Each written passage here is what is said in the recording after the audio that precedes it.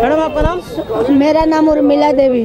किन मांग किन मांगों को लेकर आप यहाँ पर आई हैं? हम लोग अपने मांगों को लेकर आए हैं साफ़ सुथरी मांगों के लिए। हम लोग यहाँ लेकर आए हैं।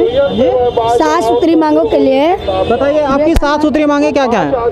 वेतन मान हम लोग को नहीं तो अठारह हज़ार हम लोग को जो उचित मजदूरी है सरकार जो दे रही है मजदूर को वो सरकार आंगनबाड़ी के दे। लेकिन मोदी जी कहते हैं सबका साथ सबका विकास और बेटी बचाओ बेटी पढ़ाओ। बेटी बढ़ाओ बेटी बचाओ तो सर देख रहे हैं कि सामने ही है। सरकार क्या हम लोग पंद्रह सौ में बेटी का शादी कर लेंगे? मोदी सरकार से पूछते हैं कि क्या हम लोग पंद्रह सौ रुपये में बेटी का शादी कर लेंगे? घर का खर्चा चला लेंगे? हम लोग से नहीं चलेगा। पंद्रह हज़ार भी तनख्वाह नहीं है कि हम लोग कोई काम कर सकते हैं। क्या हम लोग मोदी सरकार से पूछ रहे हैं कि मोदी सरकार पंद्रह सौ रुपया हम लोग से ले लें हम लोग का बेटी का शादी कर देंगे।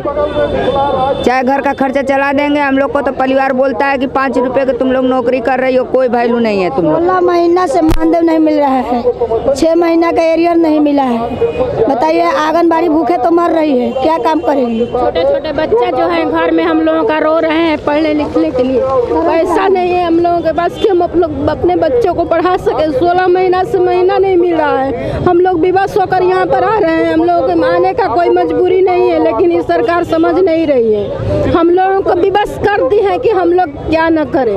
सोलह महीना से महीना नहीं मिल रहा है। हमारे बच्चे पढ़ने के लिए मजबूर हैं, पढ़ नहीं रहे हैं, घूम रहे हैं इधर उधर भटक रहे हैं। हम तो सोचते हैं मोदी सरकार हमारे सामने आए और हमसे बातें करे। क्या बेटी पढ़ाएँ और क्या बेटी बचाएँ? हम लोगों को बेटी बचाना है, हम लोगों को बेटी पढ़ाना है, किस हद से हम लोग बेटी को बचाएँ और बेटी को पढ़ाएँ? हमारी तो बेटी इसी तरह घूम रही है, पढ़ने के लिए रो रही है, तरस रही है, पैसे नहीं हम किस तरह पढ़ाएँगे। हम लोग भी बस होकर यहाँ पर आए हैं। मोदी सरकार हमारी कोई बात नहीं सुनती है। हमारा कोई सरकार एक बात नहीं सुनता है।